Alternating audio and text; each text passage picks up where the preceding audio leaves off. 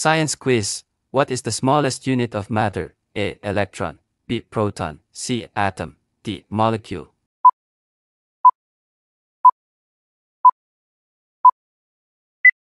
The answer is C. Atom. What term describes the change of state from liquid to solid? A. Evaporation.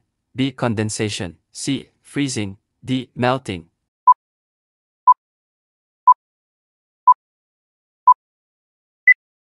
The answer is C. Freezing. What is the study of the movement and transformation of energy called? A. Thermodynamics. B. Kinetics. C. Dynamics. D. Thermology.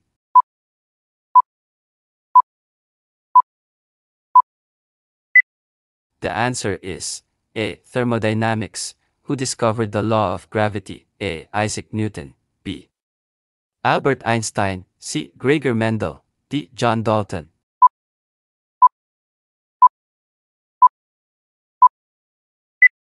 The answer is A. Isaac Newton. Which element has the chemical symbol K? A. Nickel. B. Krypton. C. Potassium. D. Berkelium.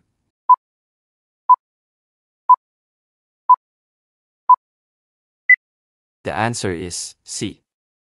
Potassium, who discovered the process of pasteurization? A. Louis Pasteur. B. Alexander Fleming. C. Niels Bohr. D. Marie Curie.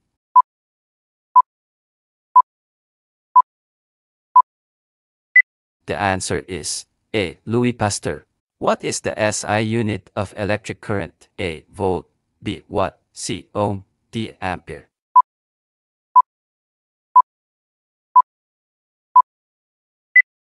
The answer is D. Ampere. What is the study of earthquakes called? A. Seismology.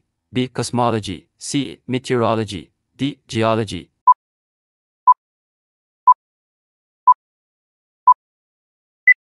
The answer is A. Seismology. What is the process by which plants convert light energy into chemical energy? A. Respiration. B. Transpiration. C. Precipitation. D. Photosynthesis.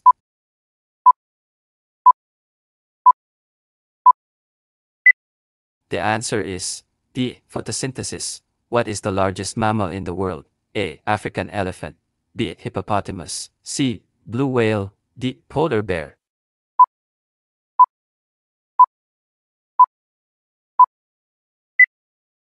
The answer is C. Blue whale.